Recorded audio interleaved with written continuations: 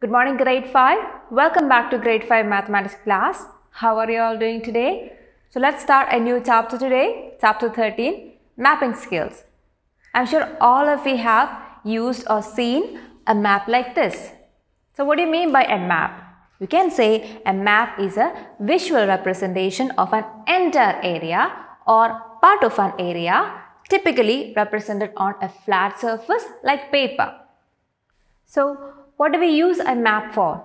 We may use a map for finding the location of a place, where a place is located or the, to find the geography of a place or what a place will look like and it will also help us to find out the accessibility to a place, how we can reach to a particular place. That's called the accessibility.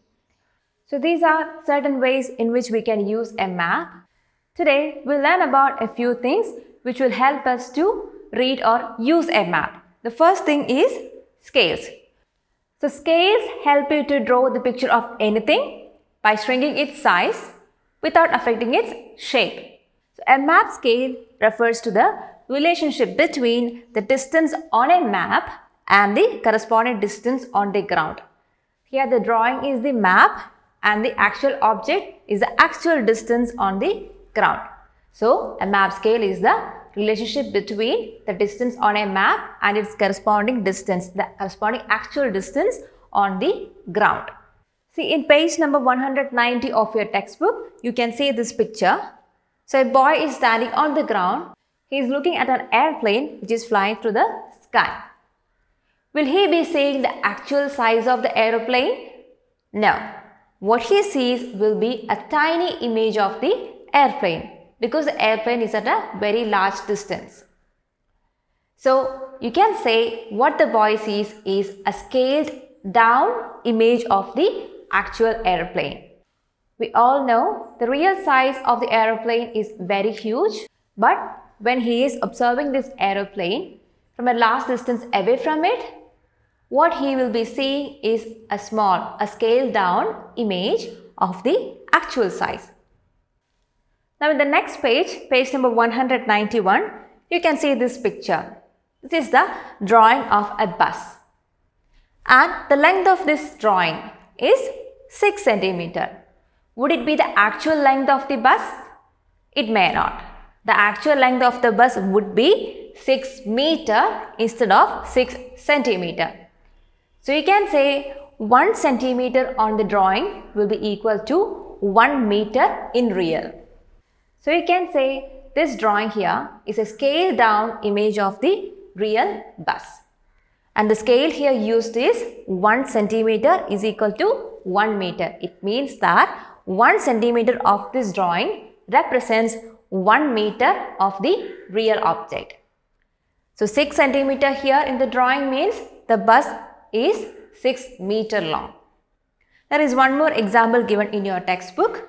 You can see this picture of a train in the same page.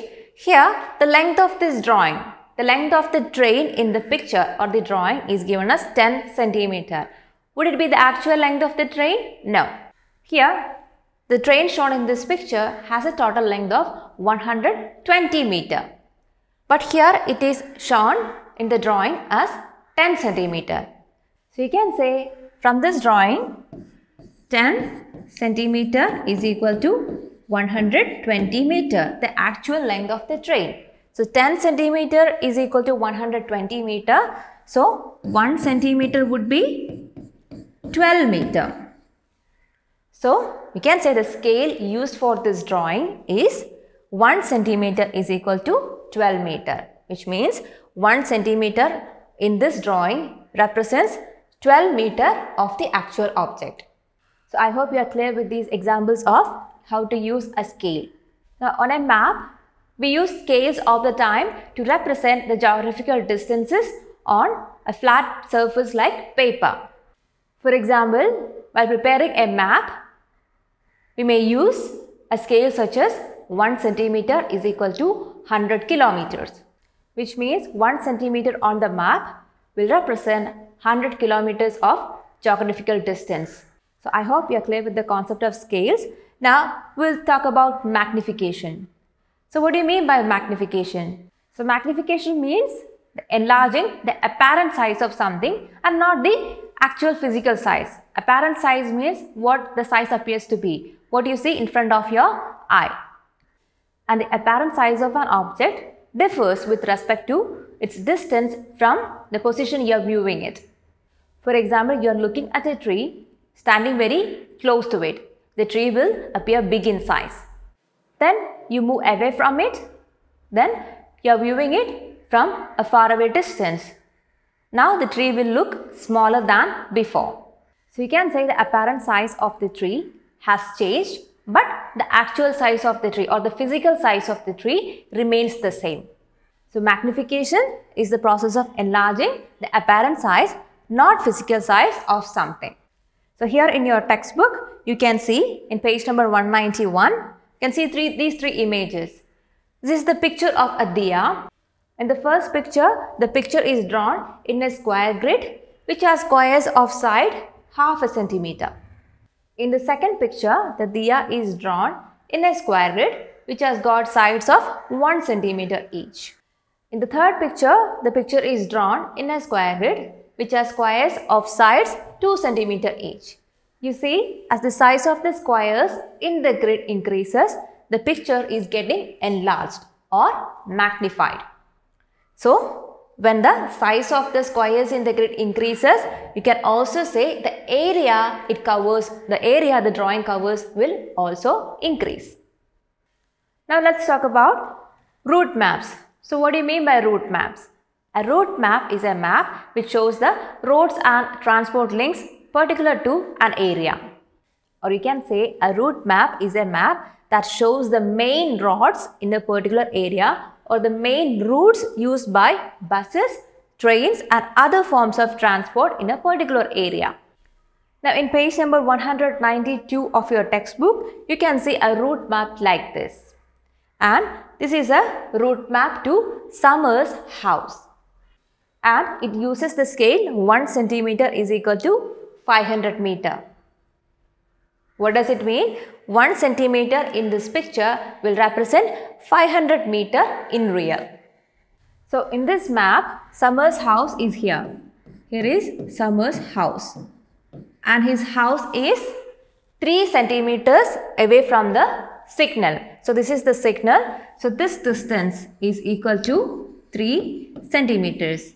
And from the signal to his school, it is a distance of 2 centimeters on this route map. So can you say what is the total distance from Summers house to his school? It will be this 3 plus this 2. And what is it? 3 plus 2 equal to 5 centimeter. So the distance from Summers house to his school is equal to 5 centimeter on this route map. So how would you find out the actual distance using the scale given here? So in the scale given here, it says 1 centimeter is equal to 500 meter. So what would be 5 centimeter? 5 centimeter would be equal to 5 into 500 meter of actual distance. And what is 5 into 500 meter? It is equal to 2500 meter which is equal to 2.5 kilometers. So the actual distance from Summers house to his school is equal to 2.5 kilometers or 2.5 kilometers. So using a route map, you can find distances between two places like this. So Summers house is in Ria residency. This is his house. So if the distance between his house and this library is a total distance of 6 centimeter on this route map, can you say what is the actual distance between his house and the library? So we know 1 centimeter is equal to 500 meter. So the actual distance between Summers house and the library would be equal to 6 into 500 meter which is equal to 3000 meter. And what is 3000 meter? It is equal to 3 kilometers. So the actual distance between Summers house and library is equal to 3 kilometers. Now the distance from this market to the signal is a distance of 6.5 centimeter in the route map. And we already know the distance from the signal to Summers house is equal to 3 centimeter. Now can you find out what is the total distance from the market to Summers house? See from here to here it is 6.5 centimeter. From here to here 3 centimeter. So what is the total distance? It is equal to 9.5 centimeter that is 6.5 plus 3 that is equal to 9.5 centimeter. Now can you say what is the actual distance between the market and Summers house? It will be equal to 9.5 centimeter into 500 meter. So let's do the calculation. 9.5 centimeter into 500 meter. What is it? It is equal to 4750 meter or that is equal to 4.75 kilometers. So, the actual distance between market and Summers house is equal to 4.75 kilometers. So, I hope these examples are clear to you. Now, let's talk about keys. What do you mean by map keys? A map key or legend is a list of symbols that you use on a map. And here you can see a few commonly used map symbols. See, this is a key or this is the symbol used for representing a bridge and here you can see the symbol used for representing a railway line. Here this one is for footpath and there are various symbols used for representing various features on a map. So in page number 193, you can see this picture. This is a map of India and there is a key shown here. And there are different symbols here and the description for each symbol is also given along. So the first one is the symbol used for representing places famous for sculpture. The second one is used to represent a temple. The third one is to represent a rock cut temple. The fourth one, monasteries and so on. You may go through these keys now. Now, there are a few questions given along with this picture in the textbook. Let me read out the first one. Which is the only place marked in the map that is famous for painting, monastery and a rock cut temple? You can use this map key or legend to identify the place from the map. So, let's have a look. So, the question is to find out the only place which is famous for painting, monastery and rock cut temple. So first let's have a look at the key.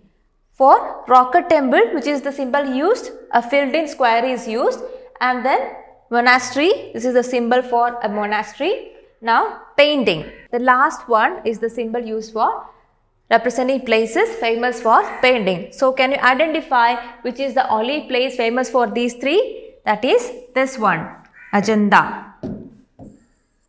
So with this key we identified a place from the map. So the second one, where can you find monasteries? See, which is the symbol used for monastery? This one. So can you identify which is the place that has got monasteries? See, observe the map carefully and you'll find that the place famous for monasteries is Ajanta. The third one, where do you find an iron pillar in India? So look at the symbol used for iron pillar. You can see the second last one in the key is the symbol used for iron pillar and find out which is the place which has got an iron pillar. So have you found out which is that place? You'll find that the place is Mehrauli in Delhi. So there are three more questions given along with this picture. You may go through the questions yourself. Now, you have to go through all these topics that we learned today from pages 190 to 193 of your textbook. Then in page number 193, you can see one more question related to keys. You may go through this map carefully and answer the questions given along using the key given here. So children, I hope all the concepts we learned today are clear to you. That's all for today. We'll see in the next class with a new topic. Till then, bye.